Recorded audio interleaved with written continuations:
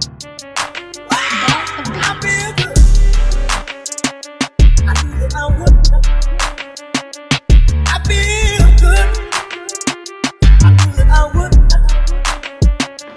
morning, everyone. Sitting at home, you have time to decide on starting new businesses. You have to diversify. You have to watch the times, find out what you can do. You're not thinking about a business or, or making yourself learn something that you never thought you would do, this is the time to do it. We're always thinking about doing something different.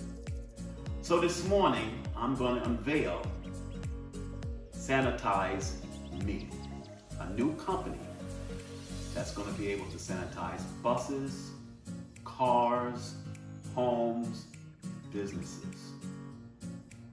Now, we try to share things with other people to stimulate your mind to do things that might help you move forward. Now, I'm about to open this box. And this box is step one in starting a new business pertaining to this pandemic.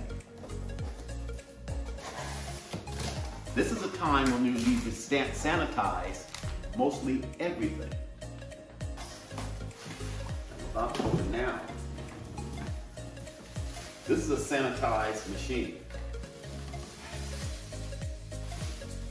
that will be able to clean and disinfect the things I spoke to you about.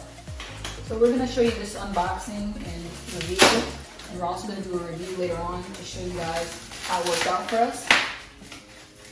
You should be thinking about things that you can do during the pandemic.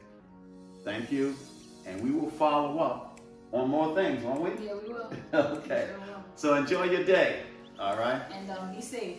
And sanitize. You'll, you'll soon see advertisement for Sanitize Me. Support black businesses.